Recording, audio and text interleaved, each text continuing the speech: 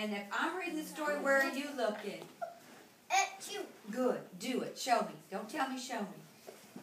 Oh, good. And this goes to video, so I hope she gets you doing that. right thing. Mm-hmm. Setting a good example. Mm. All right. The name of my story is Tanya Gram. Tanya Gram. Okay. And I'm going to read the story from this book. But I have these pictures that I'm going to hold up that kind of tell the story. Once there was a little girl called Tanya Gram. She lived in a bungalow like this.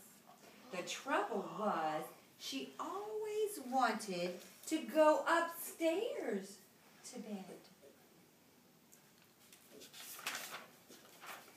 So one day, she decided to pull the bungalow to pieces and make a house instead. At last, there were real stairs. Can you see how she can go up now? Mm-hmm. Going upstairs.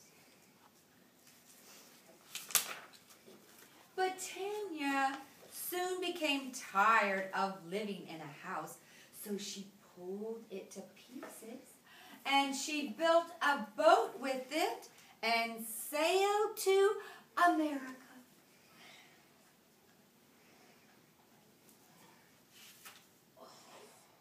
Is that a cool sailboat? Yes.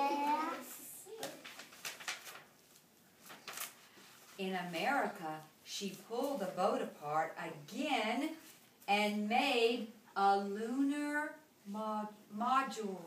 Then she climbed in and went up on a rocket to Mars. Mars is the next planet past the Earth. Wow, is that cool? Yeah. I think I actually have it turned the wrong way. I think it goes like this. Oh, now does it look more like a rocket? Yeah. Yes, ma'am. All right. When she Mars,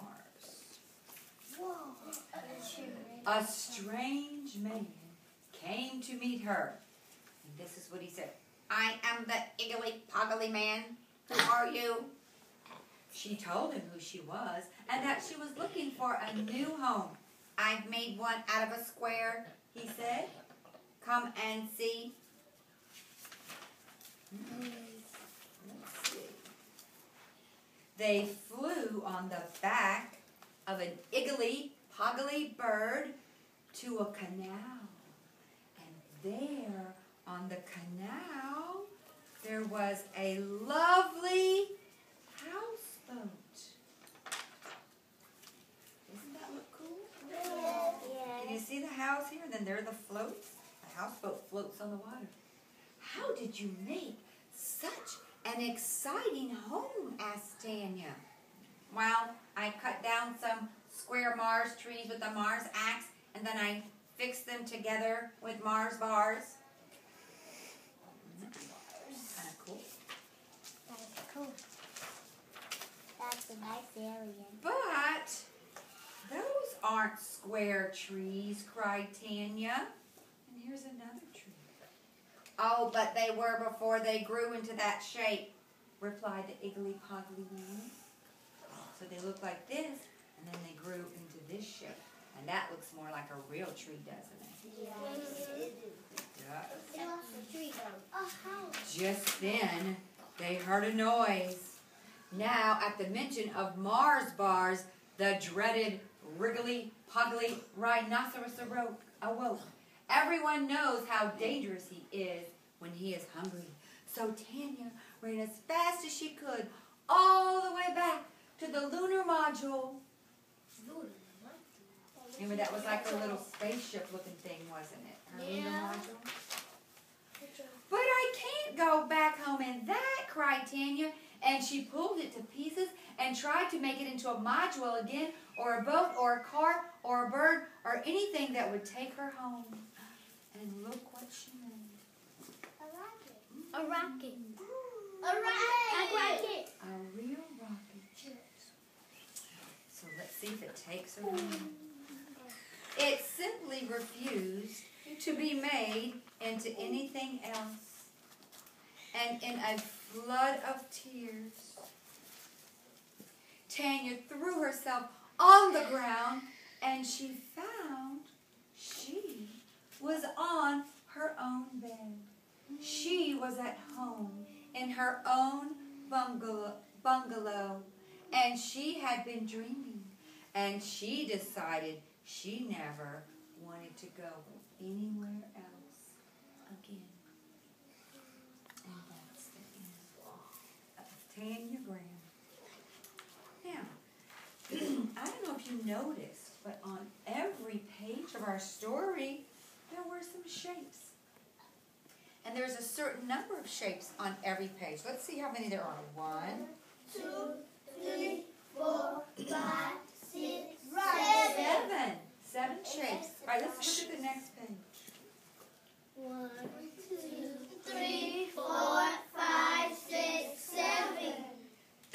Excuse me. In the whole story, there were the same seven shapes. The same seven shapes. And these seven shapes are called, Keith, a tangram puzzle. It's an ancient Chinese puzzle.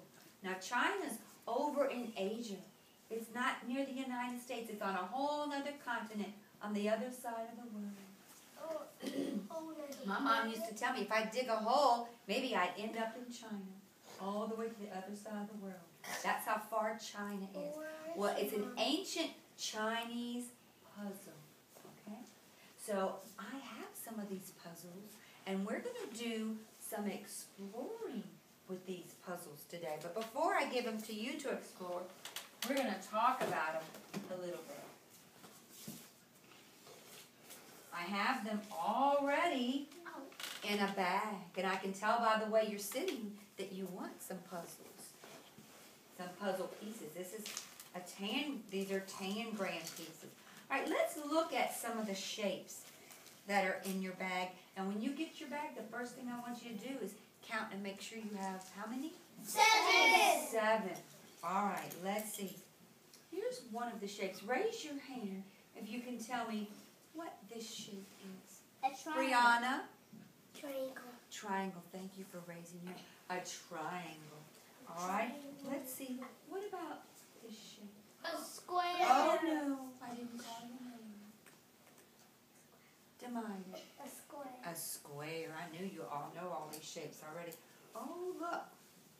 What is this? Another what, Karina? Another triangle. Okay. What about this one, Mashaya? Uh, is another triangle. Another triangle. Hmm, what about this interesting shape? A, Raise your hand. Jeremiah. a rhombus. A rhombus. Wow. It's a parallel.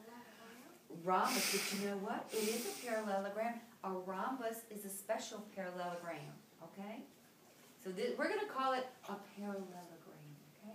A rhombus is, actually isn't a rhombus. A rhombus is a parallelogram with four equal sides. Is this side the same length as that one? No. No.